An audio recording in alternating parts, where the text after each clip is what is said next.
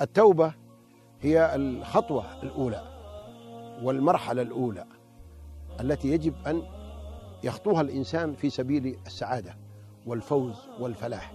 إذ لا يمكن أن يتوب إلى الله وهو مستقر على ذنبه وهي تمثل الانتقال من حياة إلى حياة ومن عيشة إلى عيشة ومن كتاب سيء إلى كتاب طيب ومن زميل سيء إلى زميل طيب ومن قناة سيئة إلى قناة هادفة. المهم توبة تنتقل أيها الإنسان. واشترط العلماء للتوبة شروط. من ضمنها أولا الإقلاع عن الذنب. ثانيا العزم القلبي على عدم العودة. ثالثا الندم.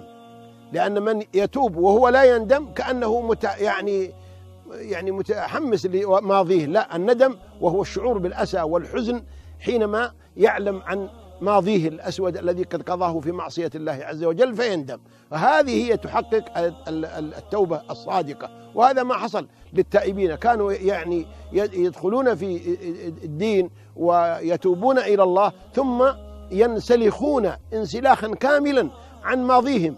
ولا يحنون إليه ولا يذكرونه ليش؟ لندمهم عليه. إذ أنهم إذا ذكروه تقطعت قلوبهم حسرة وندامة على ما قضوا في هذا الذنب من العمر الذي ليس له أي قيمة وإنما هو ضلال وهلاك. فلا بد للإنسان إذا أراد أن تكون توبته صادقة ومقبولة عند الله ونصوحا أن يقلع عن الذنب وأن يعزم قلبيا على عدم العودة إليه وأن يندم على ما فات منه من العمر. وأيضا إذا كان الذنب متعلق بحق آدمي فإنه لا بد من أن يرجع هذا الحق إلى صاحبه لأن حقوق الله قائمة على المسامحة أما حقوق الخلق فهي قائمة على المشاحة وكل يأخذ حقه.